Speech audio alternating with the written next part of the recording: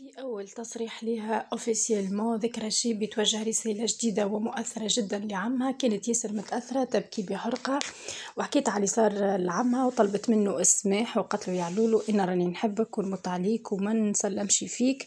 قالت لي القلوب صفيت لكن هو مازال مريض شوية ويستنى باش تتحل les vols باش يخرج لفرنسا يكمل. معناه يديبي عند الطبة وقالت له راني أنا باش نسلم في الدنيا الكلها ونخرج معاك وسامحني على المشاكل اللي صارت الكل وإحنا صحاب ملي ملي أنا صغيرة.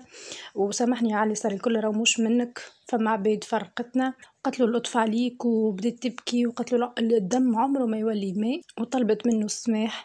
آه، وهذا كان فما تفاعل كبير برشا مع ديكلاراسيون ذكرى الشبي في برنامج الكل في الكل على قناة تونسنا.